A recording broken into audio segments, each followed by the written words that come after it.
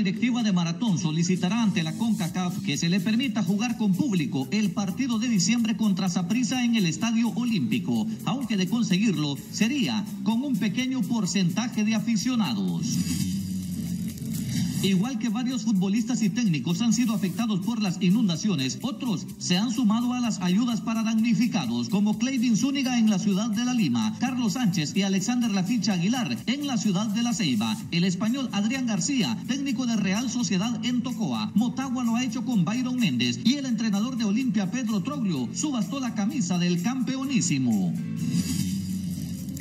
El exfutbolista de Real España, Juan Manuel Nito Anadiva, responsable del estadio Humberto Micheletti, asegura que la instalación está lista para que pueda jugar nuevamente Honduras del Progreso, reconociendo que está sorprendido porque había mucho pesimismo después de la inundación, aunque ahora están concentrados en la limpieza del escenario, pues hubo daños, pero fueron menores. La versión fue confirmada por el presidente ribereño Elías Nazar, quien acepta que si no les permiten jugar en el Micheletti, lo harían en el Morazán.